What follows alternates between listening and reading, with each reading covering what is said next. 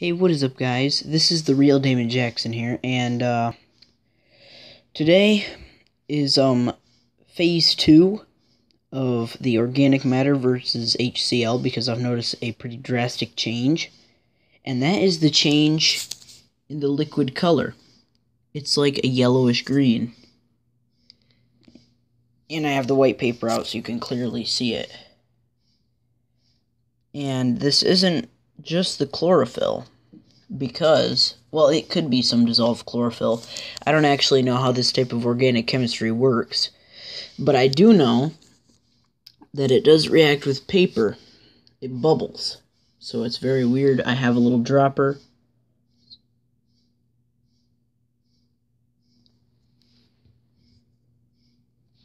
Yeah it's bubbling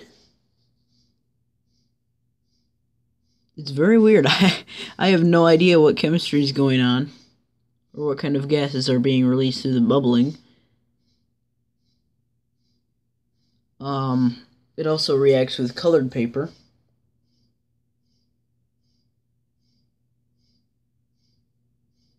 It does the same thing pretty much.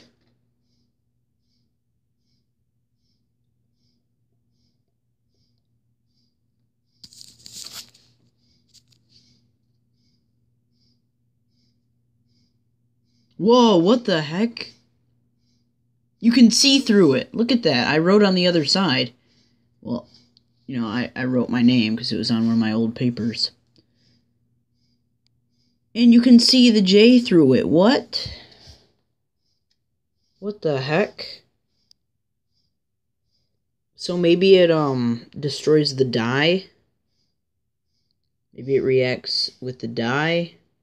I, I sorry, my I should keep it back here because my camera is actually really low quality.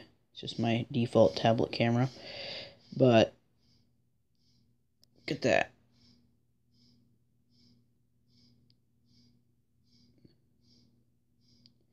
I don't know. I have no idea actually what this is. That's why I decided to make a phase two because uh, it's very odd. It's just a weird green compound.